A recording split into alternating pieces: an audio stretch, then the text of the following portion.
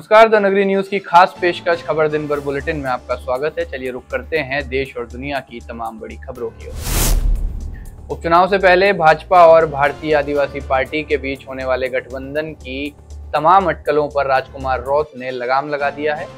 राजकुमार रौत ने भाजपा प्रदेश अध्यक्ष मदन राठौड़ पर सीधा निशाना साधते हुए संकेत दिए हैं कि आने वाले उपचुनाव में बाप पार्टी की ओर से बिना किसी गठबंधन के चुनाव लड़ा जाएगा। इसके साथ ही राजकुमार रौत ने यहाँ तक कह डाला कि बीजेपी में मदन राठौर सिर्फ़ नाम के अध्यक्ष हैं। उनके कार्यकर्ता ही उनकी बात नहीं मानते हैं। साथ ही जो राजकुमार रौत दो दिन तक अच्छा लगता था, वो अचानक ही भाजपा प्रदेश अध्यक्ष को बुरा लगने लग गया। राजस्थान के मुख्यमंत्री भजनलाल शर्मा साउथ कोरिया के बाद अब जापान के दौरे पर हैं। बुधवार को टोक्यो में उन्होंने कई कंपनियों के साथ राउंड टेबल मुलाकात की। इस शहर में सीएम चार दिन रहने वाले हैं। यहाँ निमराना दिवस पर आयोजित कार्यक्रम में भी सीएम शिरकत करेंगे। साथ ही प्रवासी राजस्थानियों के साथ संवाद भी करेंगे। राजस्थान में लगातार बारिश का दौर जारी है। बीते कुछ दिनों से प्रदेश के कई हिस्सों में भारी से अति भारी बारिश दर्ज की गई। तो वहीं मौसम विभाग के अनुसार वेलमार्क लो प्रेशर आज पुनः तीव्र होकर डिप्रेशन बन गया है। तथा वर्तमान में उत्तर पूर्वी मध्य प्रदेश के ऊपर बना हुआ है। इसके आगामी 24 घंटों में उत्तर पश्चिमी दिशा में पश्चिमी यूपी की ओर आगे बढ़ने की प्रबल संभावना है।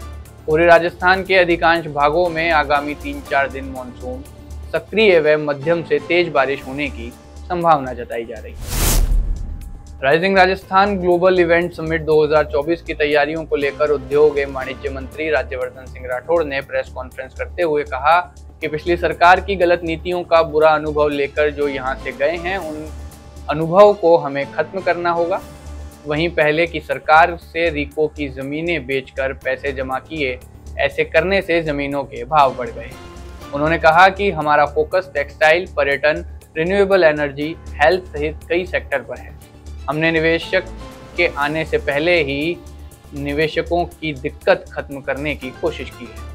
हमने अनुभवी अधिकारियों को लगाया है ताकि निवेशकों को परेशानी नहीं हो सके। नुकेरा गाँव की दो नाबालिग बहनों के साथ गैंगरेप के बहुचर्चित प्रकरण को लेकर पुलिस अधीक्षक कार्यालय के समक्ष चल रहा बेमियादी धरना आज वार्ता में मांगों पर सहमति बनने पर समाप्त हो गया। धरनार्थियों के प्रतिनिधि मंडल की बीकानेर रेंज के पुलिस महानिरीक्षक ओम प्रकाश पासवान, जिला कलेक्टर कानाराम व पुलिस अधीक्षक विकास सांगवान के साथ जिला कलेक्ट्रेट सभागार में वार्ता हुई। वार्ता में अधिकारियों ने दो नाबालिग बच्चियों की शिक्षा के साथ जन सहयोग से हर संभव मदद नियम अनुसार सरकारी सहायता दिलाने, नाबालिग बहनों के पिता को संविदा पर नौकरी दिलवाने आदि मांगों पर सहमति बनी। बारह साल से नियुक्ति का इंतज़ार कर रहे फार्मासिस्ट भर्ती के अभ्यर्थियों का सब्र का बाँध फिर से टूट गया। आज जयपुर एक बार फिर से प्रदेश भर से सैकड़ों की संख्या में फार्मासिस्ट अभ्यर्थी जयपुर पहुंचकर अपनी नियुक्ति की मांग की। अभ्यर्थियों ने पहले जहाँ स्वास्थ्य भवन पर प्रदर्शन किया तो उसके बाद शिफू पहुंचकर धरने पर डट गए। अभ्यर्थियों ने आरोप लगाया कि विभागीय लापरवाही के चलते अंतिम सूची जारी होने में देरी की जा रही है। भूकंप के झटकों से एक बार फिर से देश में धरती कांपी। भूकंप का केंद्र जहाँ पाकिस्तान रहा तो वहीं दिल्ली एनसीआर में भी भूकंप के झटके महसूस किए गए।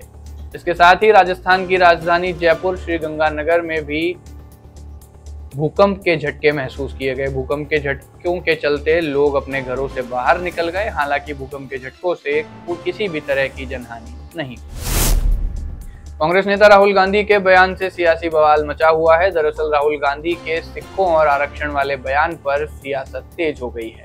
अब गृह मंत्री अमित शाह ने पलटवार करते हुए कहा कि मैं राहुल गांधी को साफ़ साफ़ कह दूँ कि जब तक भाजपा है, तब तक ना तो कोई आरक्षण खत्म कर सकता है और ना ही कोई देश की सुरक्षा से खिलवाड़ कर सकता है।